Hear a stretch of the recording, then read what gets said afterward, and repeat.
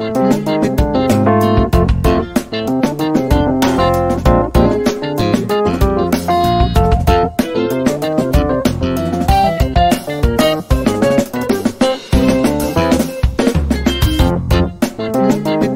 gente! Olha eu aqui de novo com mais um vídeo aí de receitinha maravilhosa para estar compartilhando aí com vocês, tá? Espero que vocês gostem. É uma receita, ó, delícia de soja, hein?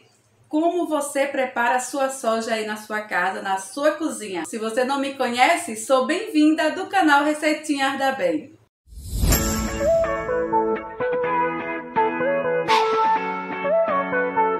Prontinho, gente. Agora nós vamos estar preparando aqui a nossa carne de soja aqui na cozinha. Daí tá? eu vou estar mostrando passo a passo como eu faço essa delícia de soja aqui na cozinha, receitinha também, tá? Tô esperando aqui, ó, a água começar a ferver. Aqui nós temos castanha de caju, temos temperinhos, ó, que nós vamos estar usando. Olha aqui.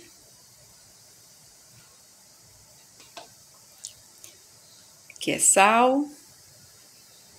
Aqui é tomate. E agora, né, a água já está fervendo.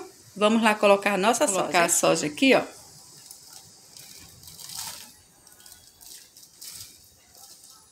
E vamos deixar aí por faixa de uns 3 minutinhos, tá? Até começar a dar uma fervura aí eu desligo.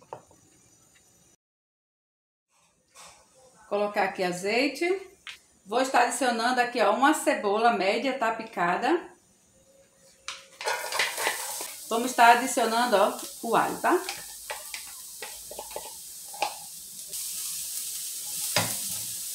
Vamos estar adicionando agora a soja. Escorri todo o líquido, tá?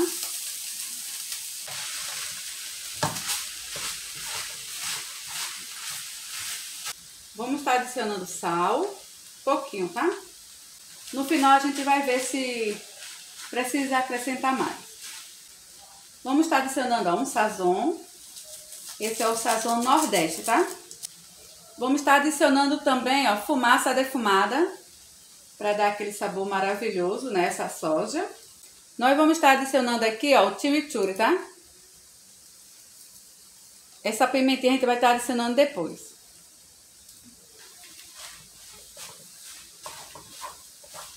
Vamos estar adicionando, ó, coloral, tá?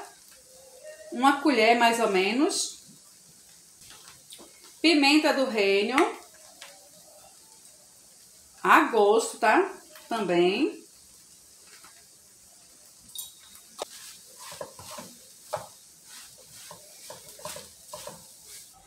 Vou adicionar agora o molho de tomate.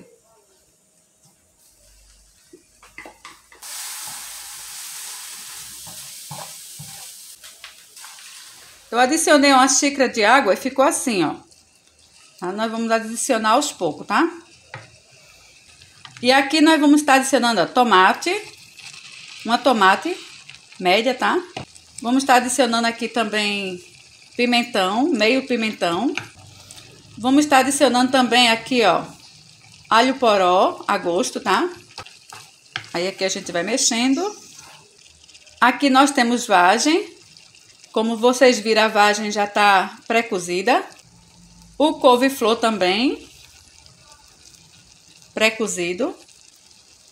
Aqui também nós temos o, o brócolis, tá?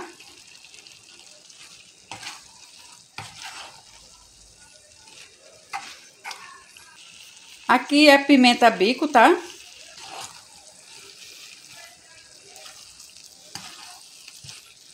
Agora, pessoal, nós vamos adicionar mais uma xícara de água, tá?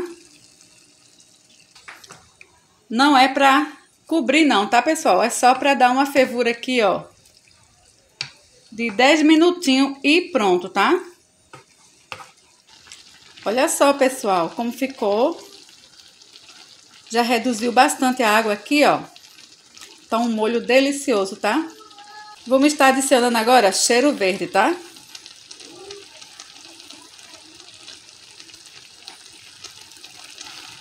E aqui é só envolver tudo isso aqui, ó. E desligar. E vamos terminar aí, ó, a nossa receita, tá? Com as batatas, pessoal, eu fiz o purê. E esse purê aqui, pessoal, tá bem caseiro, tá aquele purê bem caseiro que a gente costuma fazer no nosso dia a dia. Só coloquei aqui, ó, batata, três colheres de leite em pó, adicionei duas colheres bem generosas de requeijão, uma colher de margarina e 150 ml de água, tá? E aqui eu estou mexendo, ó, até dar o ponto de soltar do fundo da panela. Agora eu vou estar montando no refratário, tá?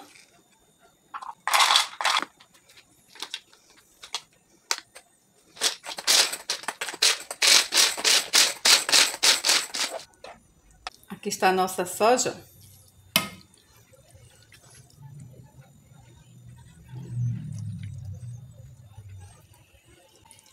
Vamos estar fazendo uma camada, tá, pessoal? O cheiro tá maravilhoso. Se você estiver gostando, já vai deixando o joinha de vocês, tá? Que é muito importante. Se vocês estão gostando, aproveite e se inscreve no canal. Sempre eu vou estar pedindo isso a vocês, tá? Olha como ficou lindo, pessoal, o nosso prato. Ó, a camada aqui, ó, do purê. Aqui tá o nosso recheio. E agora nós vamos estar adicionando, ó, castanha, ó, de caju, tá? Nós vamos estar usando aqui em cima para dar aquela crocância maravilhosa ao nosso prato, tá? Eu vou estar usando a mão, fica melhor para espalhar bem. Olha só que delícia, pessoal, que está e cheiroso, hein? E essa castanha aqui, ó, tá dando todo o toque especial, tá? O cheirinho tá maravilhoso. Ainda tá quentinho ainda.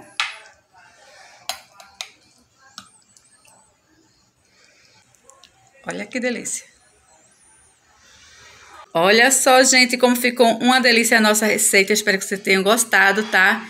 É uma receita incrível em sabor, em benefício ao nosso corpo e uma delícia aí para qualquer refeição que você queira fazer, tá? Se é para o jantar, para o almoço, com certeza vocês vão amar essa receitinha. Ó, o meu beijo, pessoal, e o meu abraço.